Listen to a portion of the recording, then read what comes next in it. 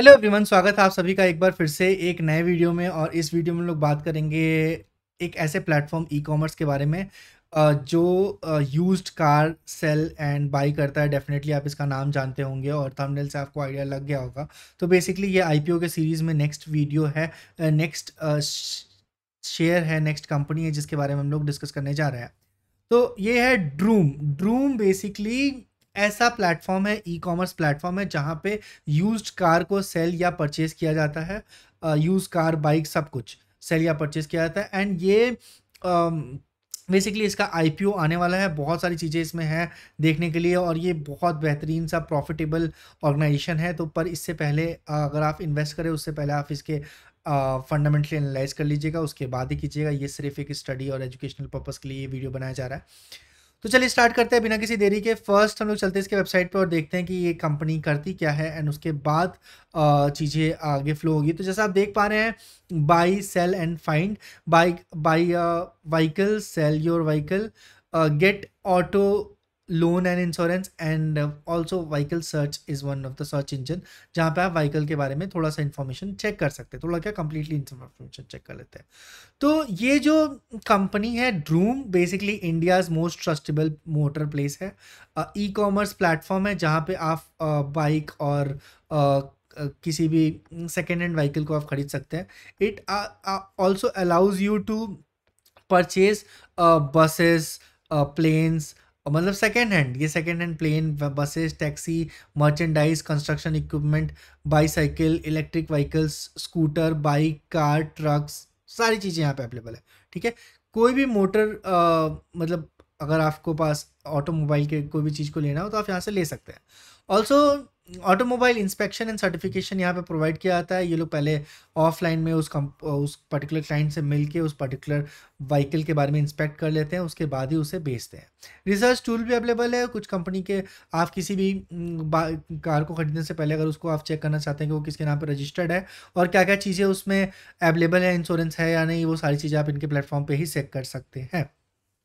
या फिर इन अपफ्रंट होके ये आपको बता देंगे। यहाँ पे कम्प्लीटली ये ई कॉमर्स है तो आपको एक कंप्लीट वेराइटीज़ आपको कार का दिख जाएगा और अगेन आपको कंप्लीट डिटेल मिल जाएगा रूम में कि यहाँ पे क्या चीज़ें अवेलेबल हैं, क्या प्राइस रेंज है, कैसा है कार बाइक हर चीज़ यहाँ पे अवेलेबल है। ठीक है? चलिए मिलते हैं बढ़ते हैं नेक्स्ट की तरफ़ और इसके आई के कुछ न्यूज़ेस के बारे में देख लेते हैं। तो यूज्ड कार मार्केट प्लेस है ड्रूम और ये प्लान कर रहा है आईपीओ के बारे में।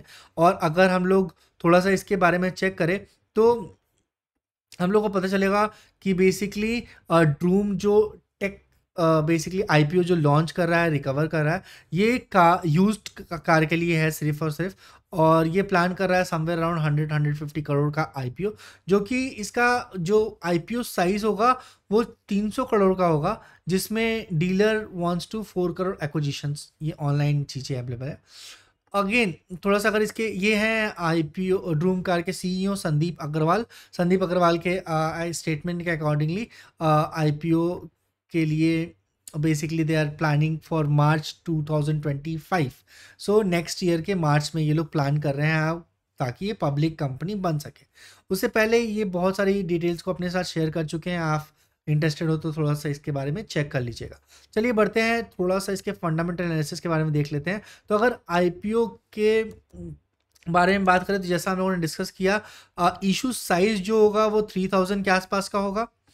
And again issue size and अगर आप uh, इसके डेट्स वगैरह के बारे में बात करें तो ये एज़ पर रिपोर्ट ये मार्च 2025 में आने वाला एक्सपेक्टेड है। और जब ये आएगा तभी इसके मिनिमम इन्वेस्टमेंट और लॉट साइज़ के बारे में बात किया जाएगा। रेड रिपोर्ट अभी भी अवेलेबल है जो प्रीवियसली लोडेड uh, था वो वहाँ से आप देख सकते हैं। अगर कंपनी के बारे में बात करें तो कंपनी कम्प्लीटली uh, एक टेक कंपनी है जो कि आपको प्लेटफॉर्म प्रोवाइड करती है e commerce platform which is available for buying and selling used vehicle so used vehicle के लिए बाई और सेल करने का ये कंपनी प्रोवाइड करती है। पेरेंट कंपनी की बात करें तो ड्रूम लिमिटेड इसकी पेरेंट कंपनी है फाउंडेड इन 2014 एंड जैसा अभी हम लोगों ने डिस्कस किया, संदीप अग्रवाल जो है, इनके मैनेजिंग डायरेक्टर है। स्ट्रेंथ एंड वीकनेसेस की बात करें तो end to end e commerce platform for buying and selling used vehicle ये इसका स्ट्रेंथ है। Again asset light and technology driven platform है। अभी तक सितंबर टू सितंबर थर्टी टू तक company has sold over more than 270 had over more than 278,000 used vehicle listed across 11 categories और ये 151 cities में है। इंडिया के 151 सिटीज़ से ये लिस्टिंग दिखाई गई है। 14.476 मिलियन एक्यूमुलेटेड डाउनलोड हुआ है play store and app store पे। तो ये बहुत बड़ा पॉइंट है, इनके कस्टमर एक्विजिशन अच्छे हैं। अगर डीलर के C H R C H R की बात करें तो eleven point seven five percent का सी एच आर रहा है। And two thousand twenty twenty nineteen से अभी तक ट्वेंटी ट्वेंटी वन में इसका स्पाइकअप भी हुआ है थोड़ा सा इंक्रीज़ हुआ है बहुत बड़ा इंक्रीमेंट नहीं है। अगर निगेटिव एक्सपेक्ट की बात करें तो कंपनी यूज़ ऑटोमोबाइल के बारे में बात करती है तो ई कॉमर्स इंडस्ट्री पे है तो कोई भी इम्पैक्ट होगा मार्केट पे अगर uh, कोई भी लॉ इम्पोज होता है तो वो कंपनी के ऊपर डिपेंड करेगा। और डिमांड है यूज़ व्हीकल का अगर कम हो जाता है या फ्लक्चुएट हो जाता है तो कंपनी क्योंकि यूज़ व्हीकल का डिमांड ऑलरेडी कम ही होते हैं। निगेटिव कैश फ्लो था कंपनी का ऑपरेटिंग मार्जिन 2021 तक तीनों में निगेटिव कैश फ्लो रहा है, जो कि अगेन एक बहुत बड़ा रीज़न है इसका रेड फ्लैग है। अगर हम लोग रेवेन्यू की बात करें तो one forty one crore forty six crore one hundred eighty one crore and one hundred thirty six crore का रेवेन्यू है।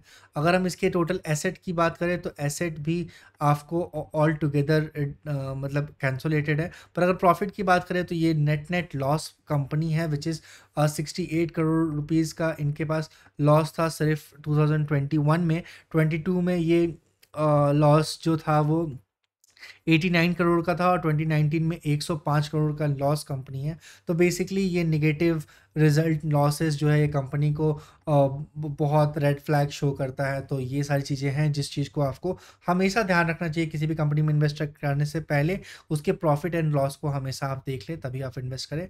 मिलते हैं नेक्स्ट वीडियो में, तब तक के लिए do subscribe this channel and stay tune for more such videos और आईपीओ के सीरीज़ में ऐसे ढेर सारे आई के, जो भी आईपीओ आने वाले होंगे, उसके आपको एनालिसिस हम आप तक लेके आएँगे। सो मिलते हैं नेक्स्ट वीडियो में, तब तक के लिए डू सब्सक्राइब दिस चैनल